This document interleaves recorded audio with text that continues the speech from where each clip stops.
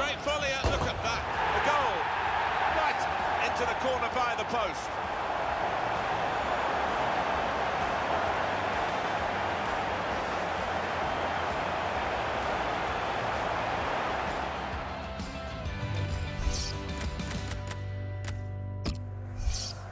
James Milner.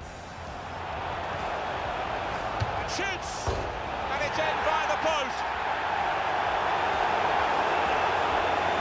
Well, it swerved a bit at the end. It might have been going wide initially, but it's hit the inside of the post into the back of the net.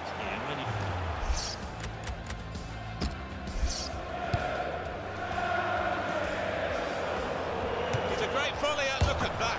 The goal. Right into the corner via the post.